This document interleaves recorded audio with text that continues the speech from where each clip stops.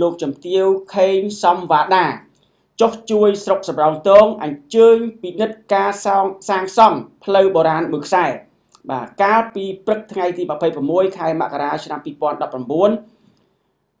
បាទអឺលោកជំទាវខេងសំវ៉ាដារដ្ឋលេខាធិការក្រសួងកិច្ចការនារីនិងក្រមការងារចោះជួយស្រុកសំរោងទងខេត្តកំពង់ស្ពឺនិងក្រមការងារបានអញ្ជើញបើកនិងកសាងផ្លូវបុរាណមួយខ្សែស្ថិតនៅឃុំស្គុះស្រុកសំរោងទងខេត្តកំពង់ស្ពឺការភ្លើការធ្វើផ្លូវមួយខ្សែជូនប្រជាពលរដ្ឋនេះវាបានធ្វើឲ្យប្រជាពលរដ្ឋងាយស្រួលក្នុងការធ្វើដំណើរទៅមកបាទហើយបានប្រែមុខប្រែមាត់ជីវភាពប្រជាពលរដ្ឋនៅក្នុងឃុំនេះបានមួយកម្រិតថែមទៀតផងសូមបញ្ជាក់ថាការបើកនិងកសាងផ្លូវនេះគឺលោកជំទាវខេងសំវ៉ាដាបានពុះពៀប្រើប្រាស់កម្លាំងកាយស្មារតីនិងថវិកា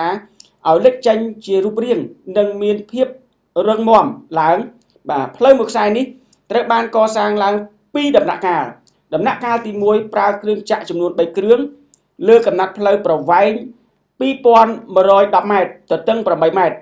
កសាងរយៈពេល17ថ្ងៃចំណាយថវិការបស់លោកជំទាវផ្ទាល់ចំនួន5000ដុល្លារសហរដ្ឋអាមេរិក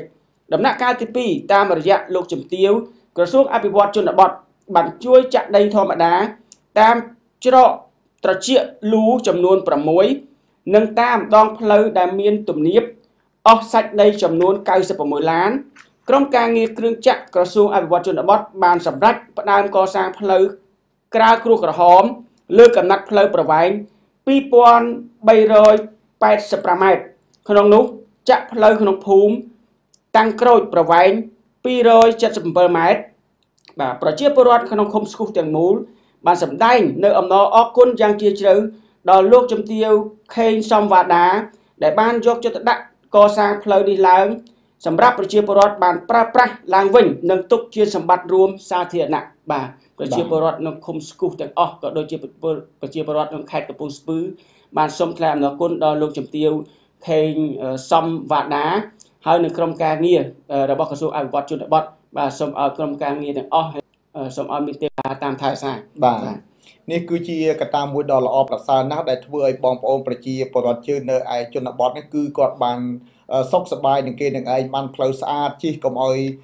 កូនចៅក៏ដូចជាពួកគាត់ដែលធ្វើដំណើរឆ្លងកាត់ទៅផ្សារឬក៏ទៅទីប្រជុំជនណាមួយគឺមានការនៅក្នុងការពិបាកនៅក្នុងការដឹកកសិផលរបស់ពួកគាត់នៅពេលដែលបានផ្លូវមួយខ្សែនេះធ្វើឲ្យគាត់មានអារម្មណ៍ថាស្រស់ស្រាយសប្បាយចិត្តមែនទែនបាទស្រស់ស្រាយសប្បាយចិត្តហើយបាទបាទអរគុណច្រើនបាទ